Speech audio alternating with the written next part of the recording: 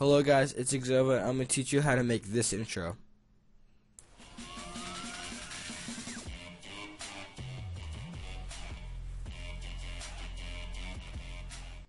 Alright, so what you want to do is you're gonna go on Google Chrome and you're gonna type in P A N Z O I D Panzoid.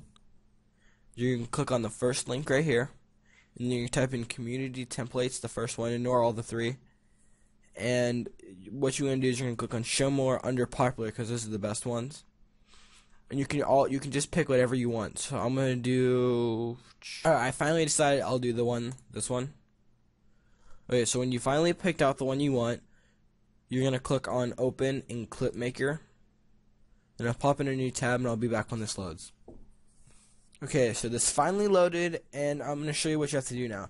So you're gonna click on this little eye so the, it, it shows what your what the intro is going to look like. And most intros are going to have this back background, but if it doesn't, you're fine. So you're going to click on this little square, the 3D square, and you're going to look all where it says text. So it says text, you're going to click on it.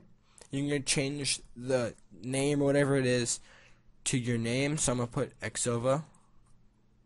And then you see another text, you're going to have to change that to Exova, well, whatever your, your name is. And that's pretty much all you have to do. This is all just the settings. Don't delete any of it. Just keep it how it is, and I'm going to show you what the intro looks like.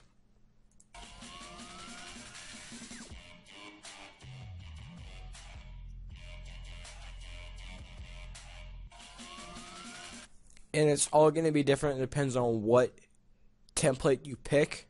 So you can just mess around and look through all the templates, but this is the one that I picked. So I'm going to show you how to download it. So you want to click on this little arrow with the underline thing, and you're gonna you can uh, for mode you can put balanced, fast, render, or best quality. I would go under balanced, but if you're looking for best quality and do that, it will take longer though. So I'm going under balanced. And then keep everything the same, and you have to click on Start Video Render, and this takes a decent amount of time. So I'll be and keep your web browser open so it goes faster, but I'll be back when it's done. Okay, so when it's finally done loading, which took maybe about not even five, six minutes. So what you want to do is you're going to click on download your video. It's going to take you to another tab. And I'm pretty sure it's going to start here.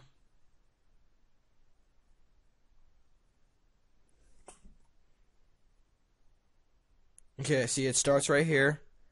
And it's a really quick download since it's already rendered and you're going to press this little drop down bar and click show in folder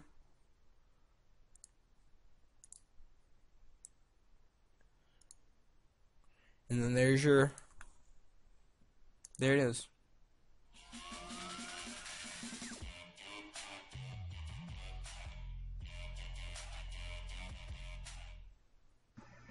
I just wanted to say thank you for watching. Bye.